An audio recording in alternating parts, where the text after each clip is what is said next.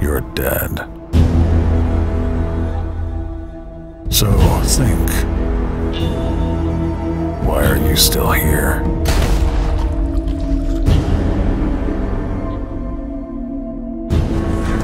You've made a deal with the devil himself.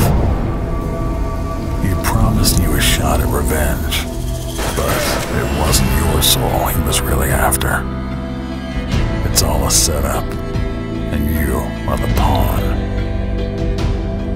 Who do you think killed the world? Was it the Inquisitor? The inventor?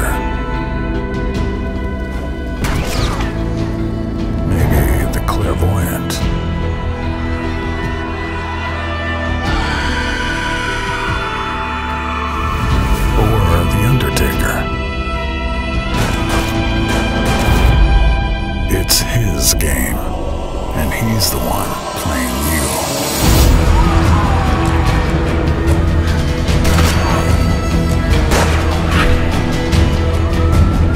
Take matters into your own hands, because either way,